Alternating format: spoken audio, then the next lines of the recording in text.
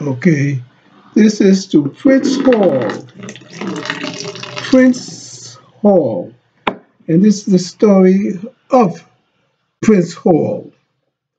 You read it carefully, and it says here Prince Hall, born around 1735, between 70 or 1738, anytime between 1735 and 17 uh, 38. He transitioned in 1807, was an abolitionist and leader in the free black community in Boston. He founded Prince Hall Freemasonry and lobbied for education rights for African American children.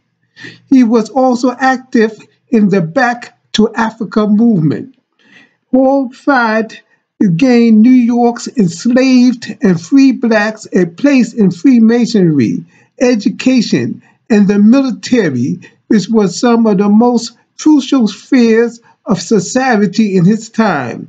Hall is considered the founder of black Freemasonry in the United States, known today as Prince Hall Freemasonry. Hall formed the African Grand Lodge of North America, Prince Hall was unanimously elected to Grand Master and served until his death in 1807.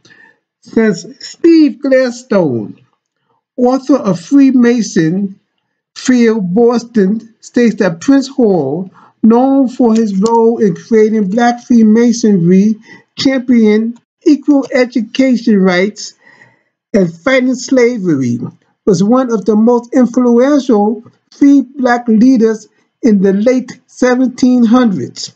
There is confusion about his year of birth, place of birth, parents, and marriages, at least partly due to the multiple number of Prince Halls during this time period.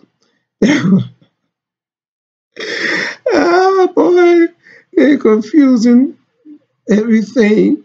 But anyway, Prince Hall, he said he was a leader in the Back to Africa movement. and he also fought for equal education rights for black children and freedom for, of black children. And the Caucasian people considered, or some of them consider free, uh, Prince Hall Freemasonry is being irregular. There's nothing irregular about it. It's more regular than the, than the white Freemasonry, if you really want to argue that point, in, in the United States, that is. so we're giving honor to Prince Hall. May he lead us still as a Grand Master.